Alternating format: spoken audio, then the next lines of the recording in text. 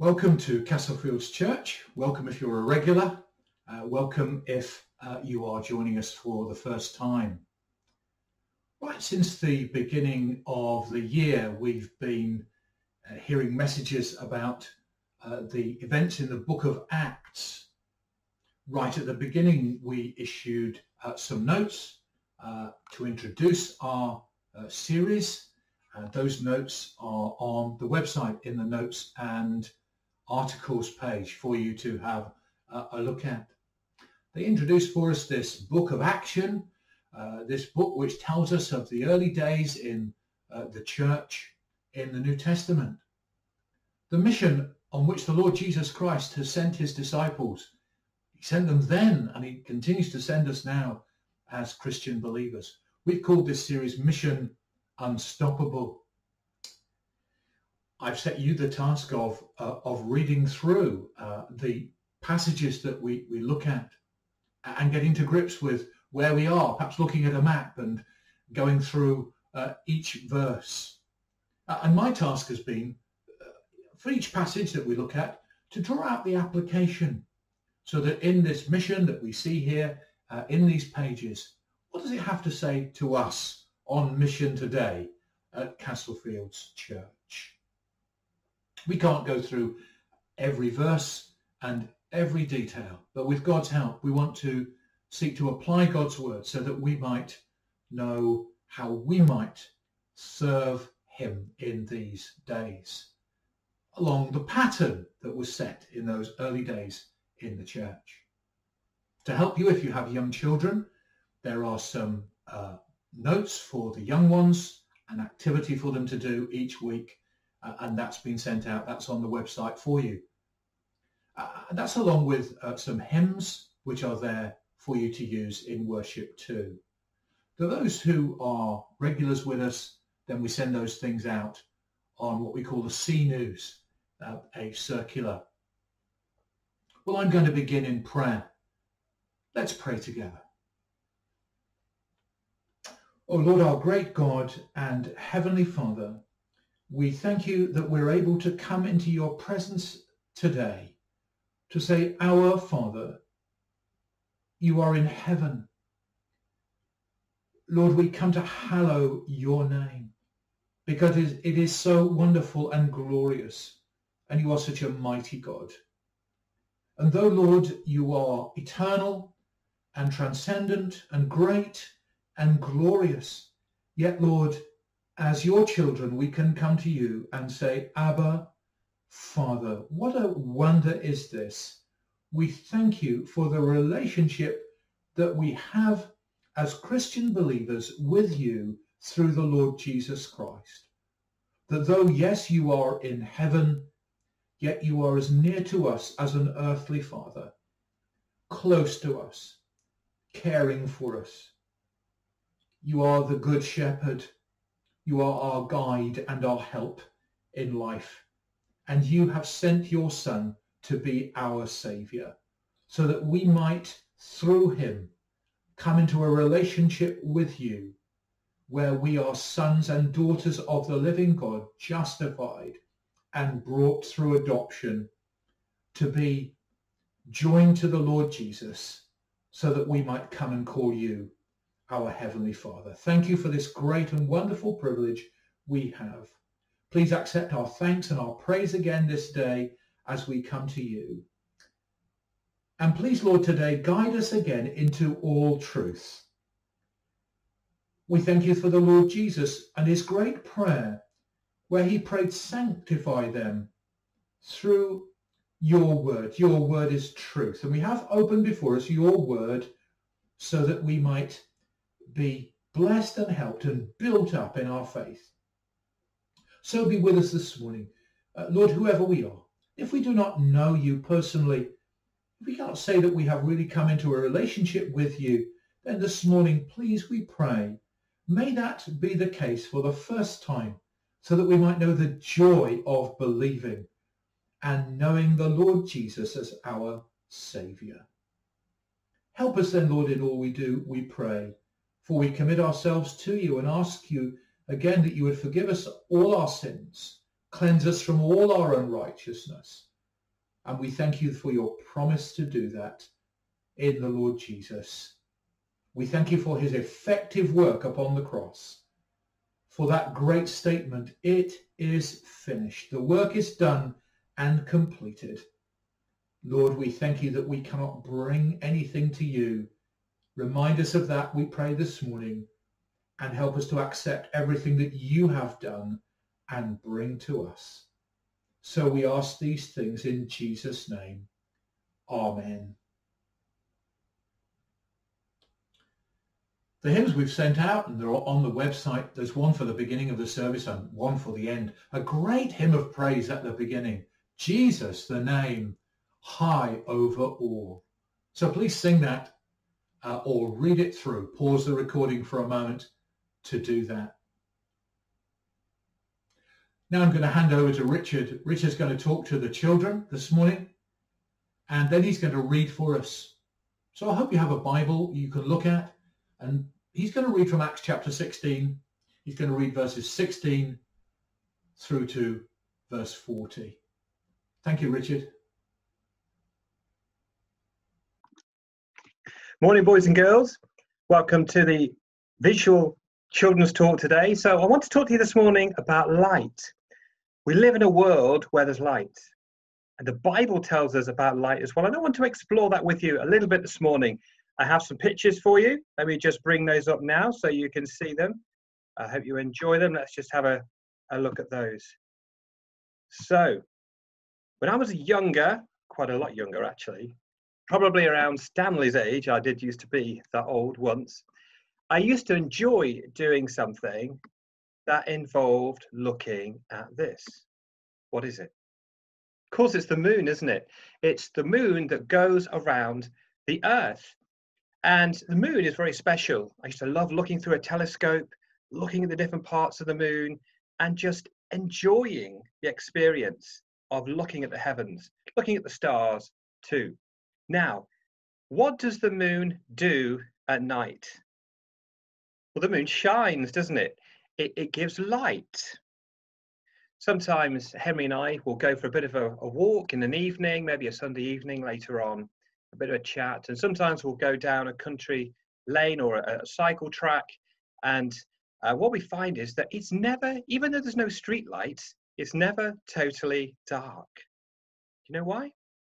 Because the light shining from the moon lights up the pathway and shows us the way to go. But the moon, do you know the moon doesn't actually have its own light?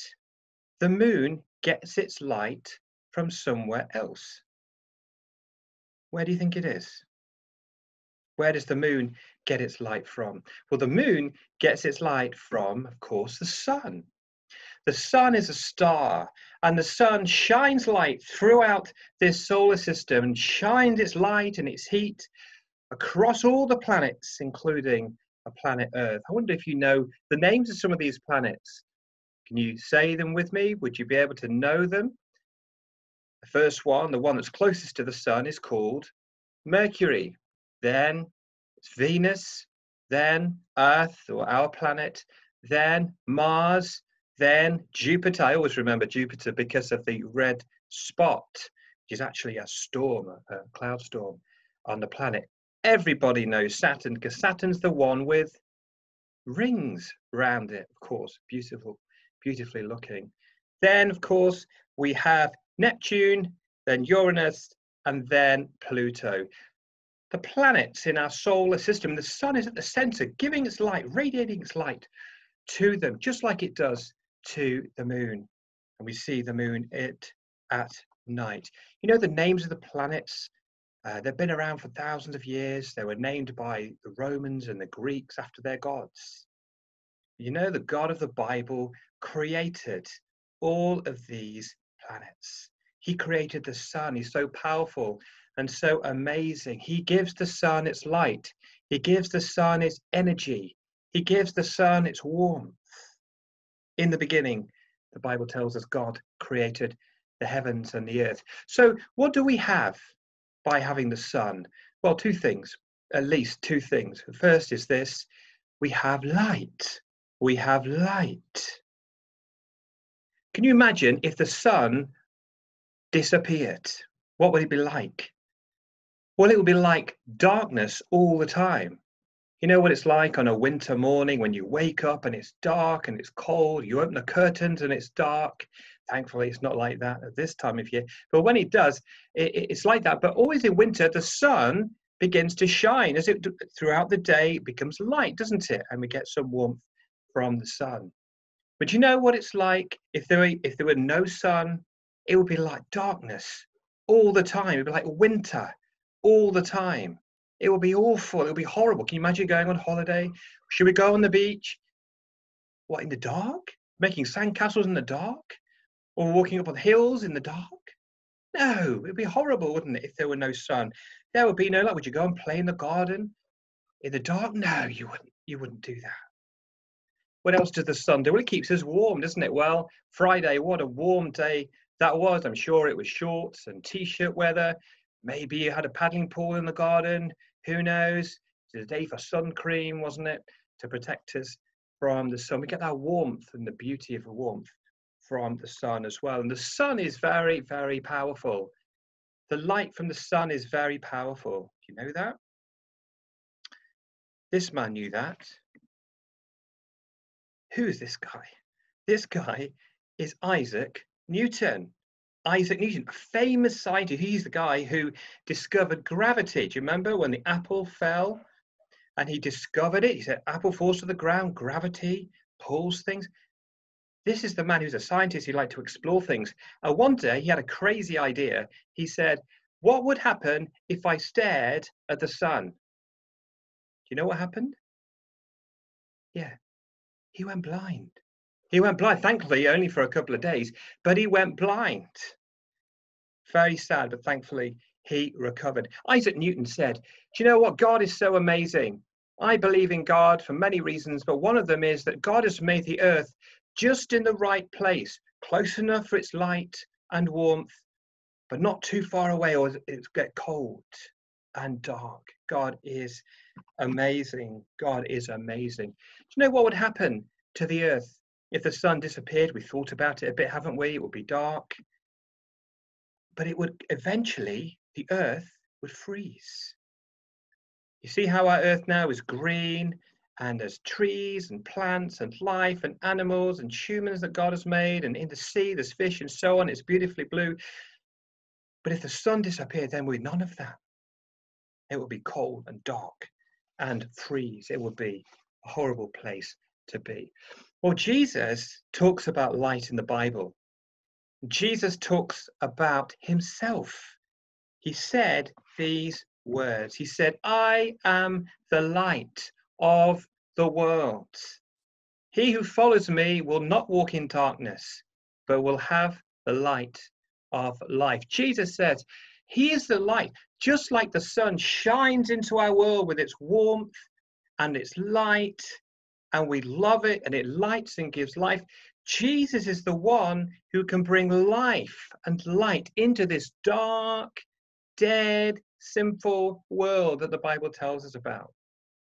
You know, the Bible says that our hearts uh, have been affected by sin, they're spoiled because of sin.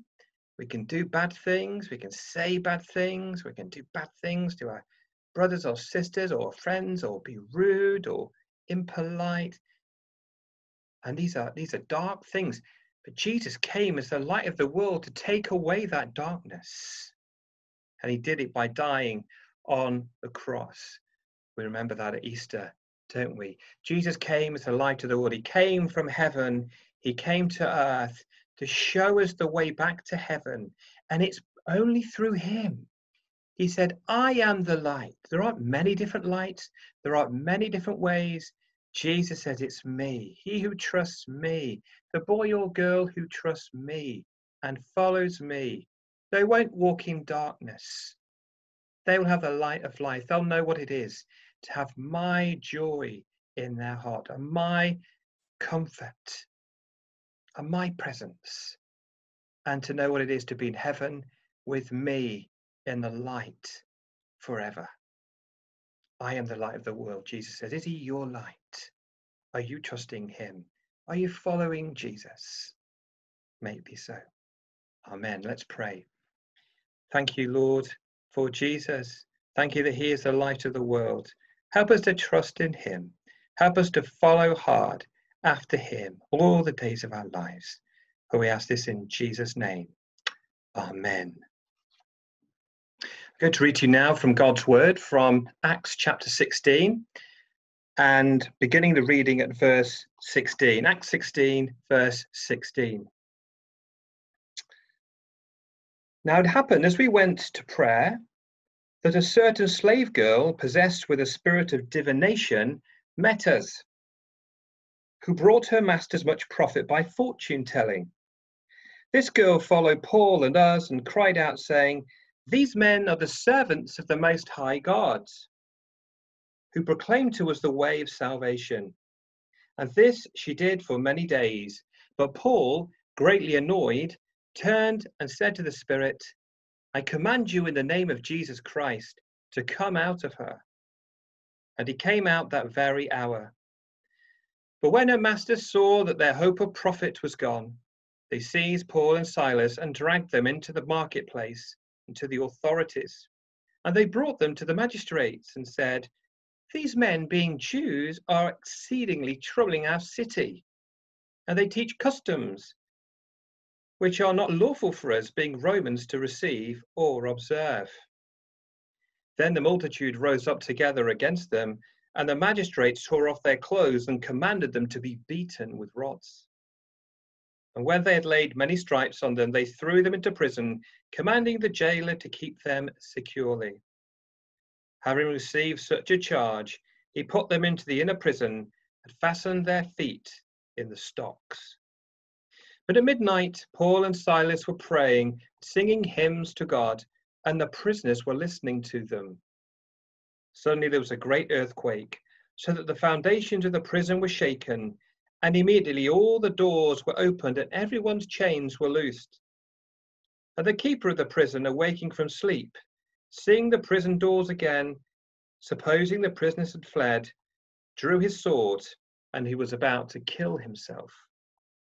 But Paul called with a loud voice, saying, Do yourself no harm, for we are all here. Then he called for a light, ran in, and fell down trembling before Paul and Silas. He brought them out and said, Sirs, what must I do to be saved? So they said, Believe on the Lord Jesus Christ, and you'll be saved you and your household. Then they spoke the word of the Lord to him and to all who were in his house. And he took them the same night, same hour of the night, washed their stripes, and immediately he and all his family were baptized. When he had brought them into his house, he set food before them, and he rejoiced, having believed in God with all his household. And when it was day, the magistrate sent the officers, saying, Let those men go. So the keeper of the prison reported these words to Paul, saying, The magistrates have sent to let you go. Now therefore depart and go in peace. But Paul said to them, They have beaten us openly, uncondemned Romans, and have thrown us into prison. And now dare they put us out secretly? No, indeed. Let them come themselves and get us out. And the officers told these words to the magistrates, and they were afraid when they heard that they were Romans. And they came and they pleaded with them and brought them out and asked them to depart from the city. So they entered the house of the prison. So they went out of the prison and entered the house of Lydia. And when they had seen the brethren, they encouraged them and departed. Amen. Thank you, Richard, uh, for that. Let's turn to that passage that has been read for us in Acts chapter 16. And as we come to it, let's just pray together, shall we? Lord, we come to you from different backgrounds, different situations in our lives. We're different ages. Our understanding of your word is different.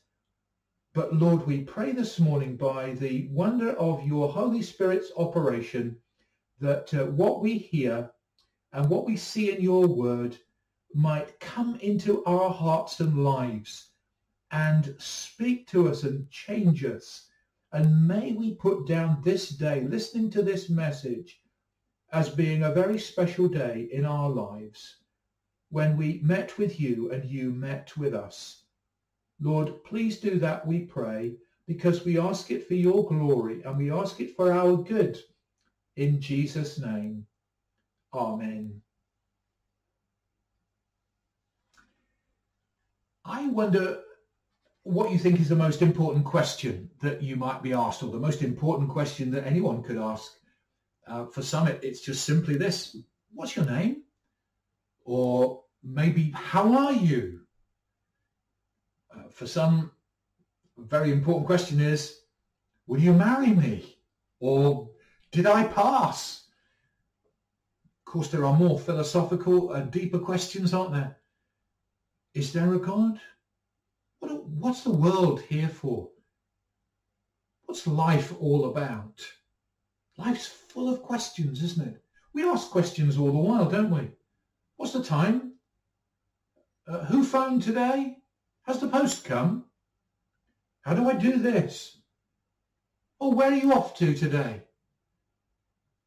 Questions all day long, aren't there? But this morning I want us to consider what I believe is the, the most important question, the biggest question that anyone could ever ask. Man or woman, boy or girl, whoever we are. And we're going to find out what that question is, and we're going to find out what the answer is to that question.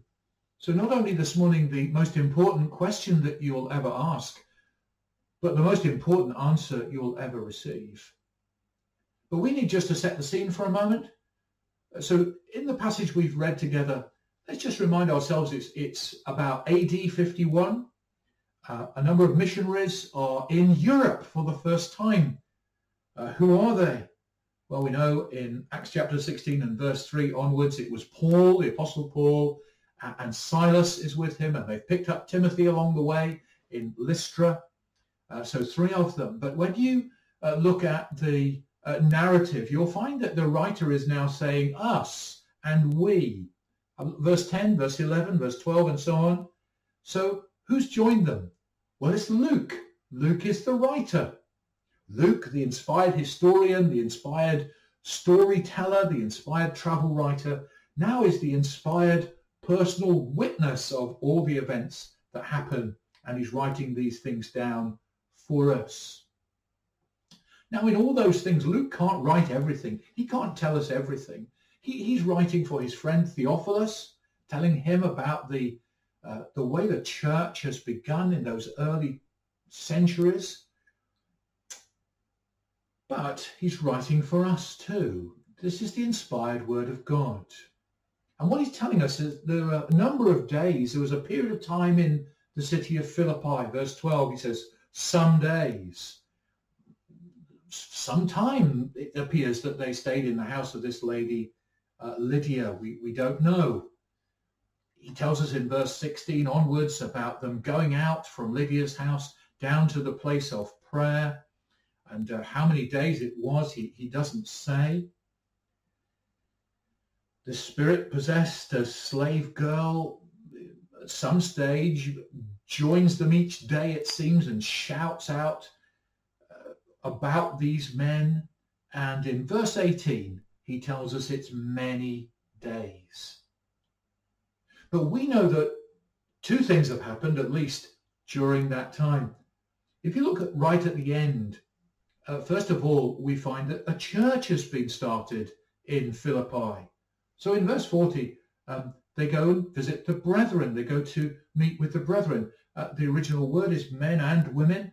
Lydia owns a large house and there's seemingly a gathering there in that house. It's a beginnings of a church. And it's a church that the Apostle Paul would write to maybe 10 or so years later, the church in Philippi. Paul by that time is in prison and he's writing to that church. And you know, it's a church that always makes him smile. It's a church that gives him so much joy. Uh, you can read the epistle to the Philippians. It's a bit further on after the book of Acts. Let me just read what it says in Philippians 1 verse 3.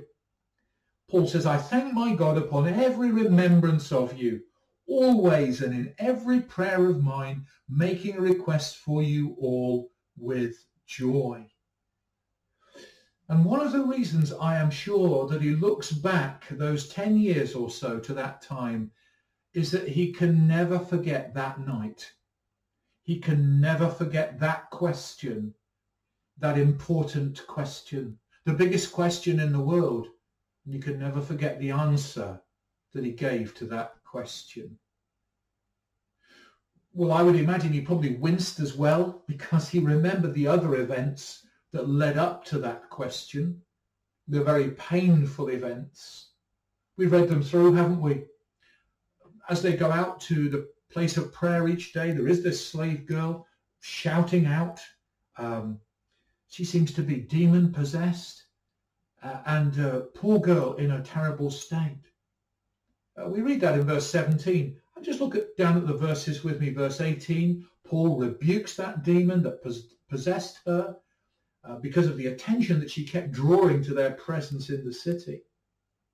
Look at verse 19. Her, her masters who cruelly and cynically used this poor girl, uh, then sort of mugged Paul and Silas and dragged them off into the marketplace, into the forum, because their means of income had now gone.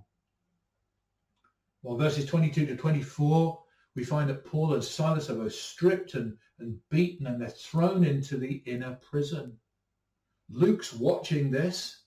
Uh, he doesn't get uh, into that situation, probably very thankfully. And Timothy, he must be there somewhere else watching on to these things. This is Philippi. And Philippi is meant to be an outpost of Rome. It's meant to be a mini Rome. That was sort of its nickname, really. And Roman law and justice was supposed to take place in this outpost of great Rome. But it didn't really prevail, did it? Until right at the end of the story. And Luke records that uh, then and only then Paul uh, is able to convince the authorities, at least to tell them, he's of Roman heritage. And so is Silas, his friend.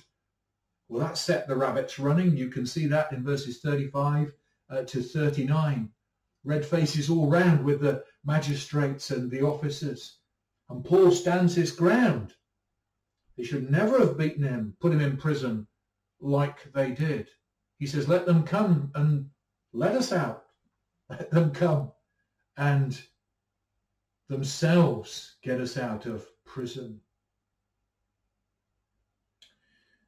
But one face that Paul always remembers and in his mind's eye when he thinks of Philippi, even with all those events, is the face of that jailer in the light of that flickering torch that night. And that question, that urgent, ringing, serious question. Sirs, what must I do to be saved? That's the big question. That's the most important question that you or I or any man or woman or boy or girl could ever ask. What is it that brings any one of us to ask that question? Well, let's find out because I want to focus the rest of our time upon the events that unfold in verses 25 to 34. We mentioned that introduction to the book of Acts at the beginning of this service. And one of those Bible commentators that we mentioned is a man called uh, Dr. Richard Lenski, and this is what he writes. He says, here in these verses 25 to 34, here we have the most astounding piece of mission work recorded in Acts. It is done in the small hours of the night for the jailer and his family by the jailer's prisoners. And what I want to suggest to you is that like the jailer in Philippi, what will bring you to ask seriously this question of four things. I want you to notice awareness. Secondly, events. Thirdly, fear.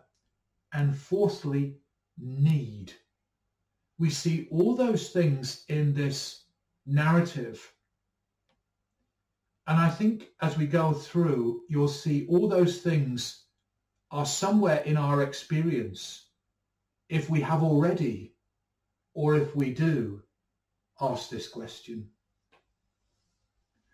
So here's the first thing. Awareness, awareness. Awareness of God. Uh, perhaps first, an awareness just of the reality of God when we don't normally think about God. But somehow, like this jailer, somehow now you, you're thinking of God. You wouldn't normally do that. What brought this jailer to an awareness of God? Well, Philippi was a significant city in AD 51, but really it was only the size of a, of a, a smallish town uh, in Britain today. So things were would be uh, known throughout the whole town, even though there wasn't the internet and TV and so on. Philippi was dominated by two things. Number one, its pagan worship. Archaeologists have discovered uh, in the agora, the, the forum, the marketplace that's referred to in verse 19, uh, they've discovered there uh, more than 180 rock carvings. And 80 of those, or more than 80 of those, are of the goddess Diana. It indicates to us that uh, pagan worship was very much the case in this city at that time. And look at verse 16 and what it tells us about this poor girl this demon-possessed girl, this culture of fortune-telling and mystical pagan rites and, and practices, along with all the corruption that that brings. So the first thing that characterized Philippi was its pagan worship. But the second thing we sort of alluded to is its desire to be like Rome. Can you look at verse 21? When Paul and Silas are, are bundled into the, into the marketplace, the great cry goes up, these people are disturbing our city and we're Romans. You see, they had this view that they were like a mini Rome. Uh, we see, we've mentioned there's magistrates and there's, there's officers in, in, in the story. Uh, and we see how that works out towards the end of the story, verses 35 to 39. So here's pagan worship and Here's the desire to be Roman. And this jailer was just part of really all that. When Paul and his colleagues arrived in the city, when the events of verses 20 to 24 all happen, it's not the Christian gospel, not yet, that uh, affects things and changes things and comes to everyone's notice. It's the fact that they are Jews. You see, this demon-possessed girl is crying out, isn't she? They're the servants of the Most High God.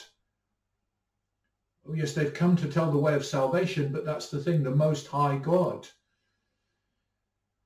The devil knows about the Most High God. We see on a number of occasions in the scriptures uh, how those who are demon-possessed, uh, the demons cry out their knowledge of God. They certainly are aware of God. But in a strange way, it brought an awareness of God into that pagan Roman city. But the thing that annoyed those who uh, held this girl captive was that they were Jews. Now, later on in Acts chapter 18 and verse 2, we're going to be told something about contemporary history we're going to be told that Claudius Caesar has expelled all the Jews from Rome. They're all thrown out of the city. And this is Philippi, this is mini Rome. So they didn't want Jews there. Jews were not welcome in this city. We notice that Paul can't go to a synagogue in Philippi, as he has done in his past journeys. You see, this city didn't have an awareness of God until these men came and brought that awareness. And this jailer is part of that city and its environment and how it all works. And he becomes aware of all these things. By word of mouth, it's spread around. It's highly likely that this jailer would have been at least aware of all this talk of the Most High God. He didn't think about God normally. Of course, when they bundled Paul and Silas into the prison and he was responsible for them, it's almost as if God had come in with them. There's an increasing awareness of God with this man. Now, I don't know how it is with you. Maybe in the past you've never really sort of thought about God at all, but something has triggered that thought. What if there is a God? What is he like? Who is he? And maybe more recently, you've begun to think about God. That there's become in your life an awareness of God. Now let's move to the second thing, because what happens here is events. Awareness was our first thing. Events, the second thing because it's the events that happen that really bring this man face to face with his need of a relationship with God. You see, that awareness, though perhaps vague and sort of out there, now is very much, as we can see from the story, in here, right in the prison of which he is responsible for. Who could have predicted what was going to happen? Christians praying and singing praises in the stocks, despite the beatings, despite the darkness and the horror of that place. The little thing that the children have got to do this morning includes some pictures of some rats running around in the prison. Never before had things like this happened. Never had this man ever heard the singing of the praises of God, of men praying to the Most High God. You see, the events are moving things on in his awareness. And then there's this tremendous earthquake and the doors flying open and the chains falling off. And the horror for him as he comes in after that earthquake of what would happen to him if the prisoners escaped. There was a protocol, you see, in Rome, being Roman, a mini Rome, that if he, as the prison jailer, allowed the prisoners to escape, then he would suffer the fate that the prisoners would have suffered. He drew his sword. Suicide seemed to be the only way out if that was going to be the case. But this man, Paul, he cried out, do yourself no harm. We're, we're all here. And the man's on his knees. He's on his knees before the prisoners. That, that had never happened before. Prisoners are meant to be on their knees before him. You see, God was using these events.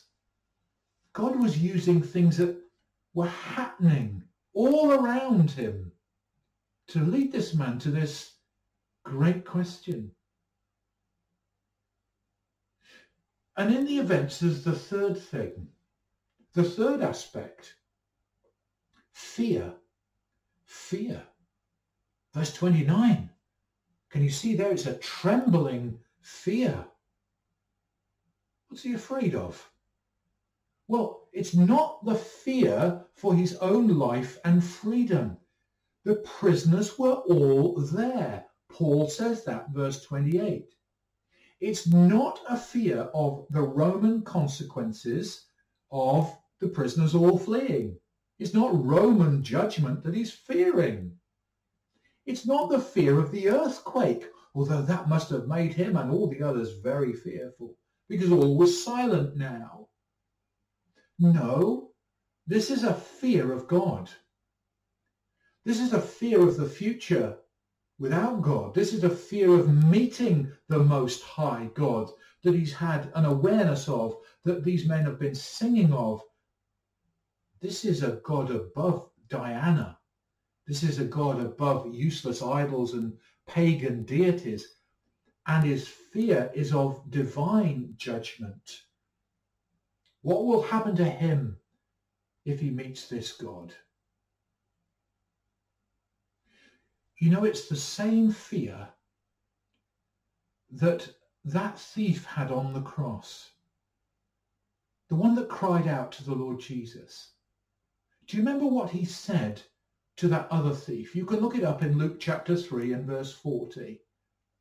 He shouted out to that other thief on the other side of the Lord Jesus, do you not even fear God, seeing you are under the same condemnation?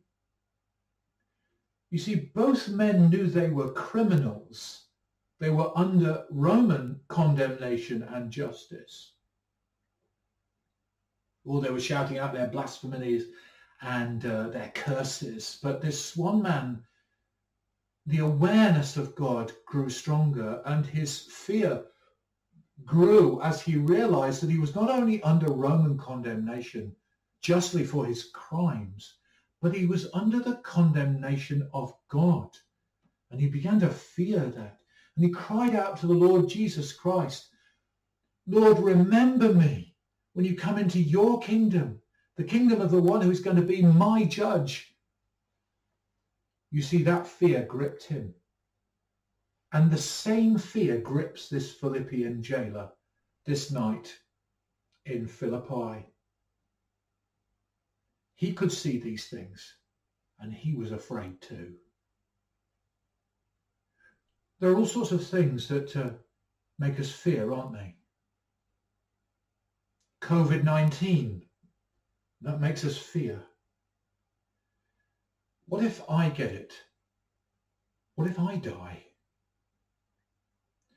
And this terrible explosion in Beirut, we saw the devastation of that people just in a second blasted into eternity.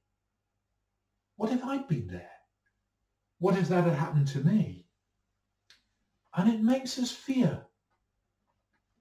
And maybe in your life, there's that awareness of God that's come in somehow. Maybe you know Christians. Maybe you're around sort of Christians, Christians in your family. And it's a bit like having Paul and Silas in the prison and you started to think about God and thinking about God actually makes you fear, makes you wonder. Well, the next thing we see is need, is need. This fear, this fear brings this man to a need, a desperate, urgent need. The dying thief cried out, didn't he? Lord, remember me. And the jailer on his knees could see it just as clearly. And from his need comes this great question. What must I do to be saved?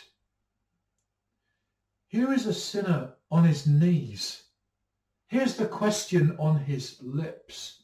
And here is his heart as well as his ears open to hear the answer.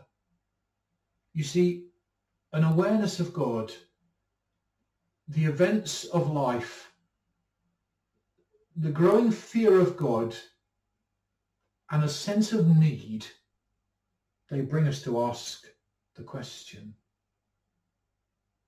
So I wonder if that's your case. I wonder if that's where you are, that somehow the vivid account that's before us resonates in your life. So are you ready to hear what the answer is to that question? The answer that will change your life, like it changed the life of this man, not just now, but for eternity. And here's the answer. Can you see in verse 31 what it is? What must I do to be saved?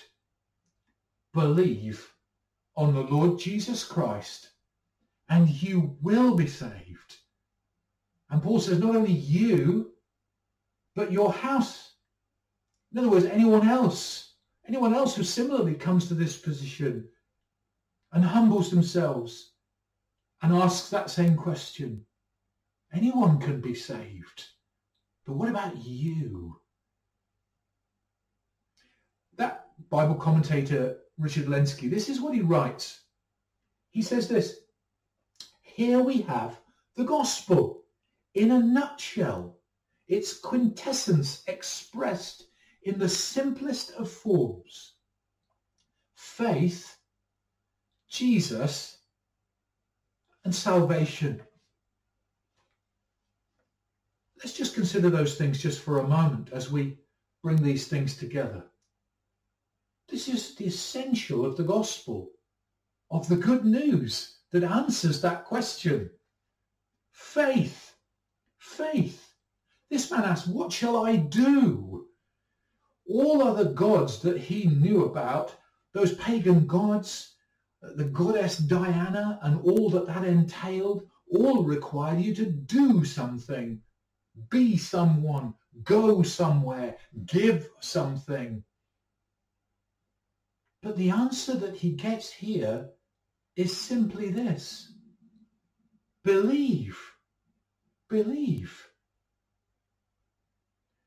The Apostle Paul wrote not only a letter to the Philippian church, but he wrote a letter to the Ephesian church. And he wrote to Christians in Ephesus. Those who'd asked this question had heard the answer to it. And he explains to them really what happens in belief. Let me just read it to you. You can look it up, Ephesians 2 and verses 1 to 10. It's quite a few verses here, but it's so important to hear this, this whole matter of faith. And you, he says, he, God, has made alive, who were dead in trespasses and sins, in which you once walked according to the course of this world, according to the prince of the power of the air, the spirit who now works in the sons of disobedience, among whom also we all once conducted ourselves in the lust of the flesh and the desires of the flesh and of the mind, and we were by nature children of wrath, just as others, everyone else. But God, who is rich in mercy because of his great love with which he loved us, even when we were dead in trespasses, made us alive together with Christ. By grace you have been saved and raised us up together and made us sit together in the heavenly places in Christ Jesus that in the ages to come he might show the exceeding riches of his grace in his kindness towards us in Christ Jesus. Listen to this. For by grace you have been saved through faith, and that not of yourselves, it is the gift of God. Just faith faith in the Lord Jesus Christ. Faith alone, not bringing anything, not going anywhere, not being someone, not giving something. We've got nothing to give. It's through faith in what God gives. That's grace. Faith alone, by grace alone. But faith must have an object. You can't just have faith, can you? I've got faith. No, no, no. Faith must be in something, mustn't it? Or in someone in this case. And that's the second thing here. Faith. The nub of the gospel, faith. But in Jesus. Faith alone, in Christ alone. And there's that wonderful hymn that we sing. I can't put it any better than this. Listen to these words. Probably the best hymn that's been written in recent years.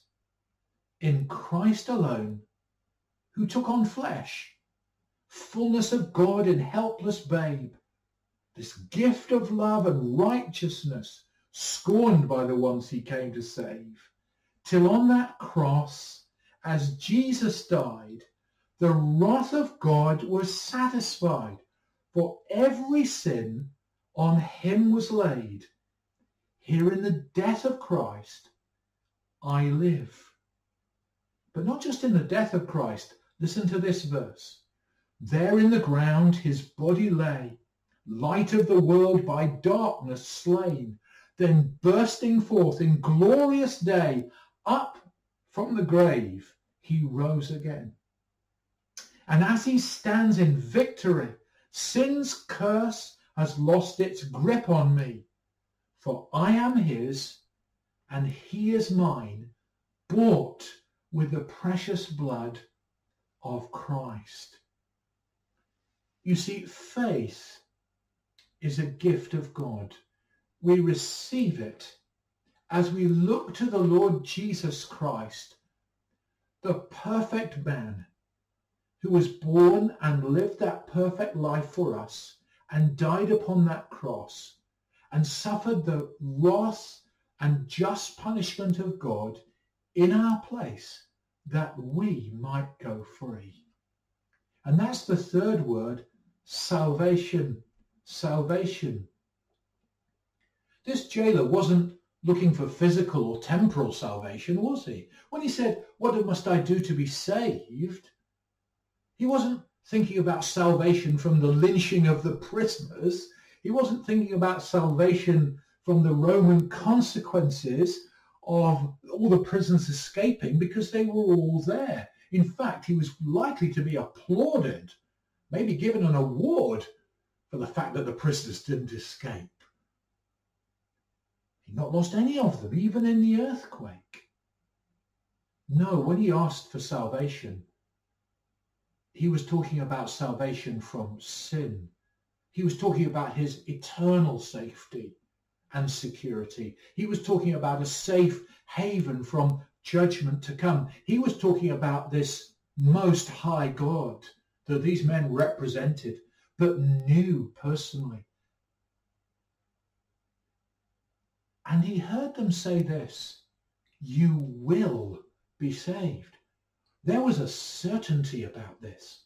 There was no certainty in any pagan religion, no certainty about being a Roman citizen, about the future, about eternity. But with this salvation, there's certainty you will be saved. A permanent and secure salvation. And it's a salvation that changes things. It certainly changed this man, didn't it? Can you see what happened? Here in verse 32, he demonstrated by being baptized that he'd been saved. He'd heard that answer. He'd placed his faith and trust in Jesus Christ. Because baptism is going down into that water, as it were being buried and washed and coming out clean and new. The picture of baptism demonstrates his salvation. And not only that, but his salvation is evidenced as well. Look at what he does in verses 32, 33 and 34. There's the evidence of kindness that he shows now to these men who once were his prisoners. And now he's, he's bathing their wounds and he's offering them food and he's showing a love and a kindness to them. And then also in verse 34, there's a rejoicing. Others have come to know the Saviour too in his household. We're not told whether it was his wife and his children, some of his servants, whoever it was, but they'd all come to listen to this message. And it wasn't just a blind emotional response from this man in his terror. No, no, no, not at all. Look at verse 32. It tells us that Paul and Silas, they sat down and they spoke the word of God to this man and to his family and to his servants. This was a logical, reasonable, explainable faith. Christianity is not a, just a panic measure, not just a crutch. It's a faith and a trust in a logical and reasonable and explainable Saviour who came to save us from our sin. From a book which is logical and reasonable and explainable, which we call now the Bible, and it includes this account. And what a joyful, wonderful scene there is in verse 34. Look at that scene. Think of it.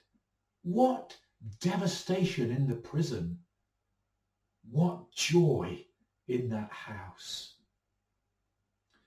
Well, I wonder, have you asked yet the most important question in the world? Have you heard the answer? The most important answer in the world. Have you believed? Are you rejoicing? Is there evidence in your life that things have changed? Is all your trust in this reasonable, explainable and logical gospel in the Word of God? You know, it's my prayer that someone listening today, maybe you, with this growing awareness of God that's somehow come into your life and all the events that are happening in your life and the fear of death and judgment and meeting God that perhaps you know will bring you to that position of need. Because without that, we're never going to ask this question. We're going to think we can make it through life and somehow we're good enough. But when we see our need, we'll say this, what must I do to be saved? And we'll be ready to take that step of belief. Believe on the Lord Jesus Christ and you will be saved. It's the most important question you could ever ask. It's the most important answer that you'll ever get. I'd love us to sing to close the, all of that hymn that we mentioned in Christ alone. Uh, and if you can't sing it and if you don't know the tune, um, then please read it through and just pray that it might be your testimony. Lord, as we close this service, we ask that your word may be effective in our hearts. And now may the grace of the Lord Jesus Christ, the love of God, the fellowship of the Holy Spirit be with all of us now and for eternity because of that certain salvation which is in Jesus Christ, in Christ alone. Amen.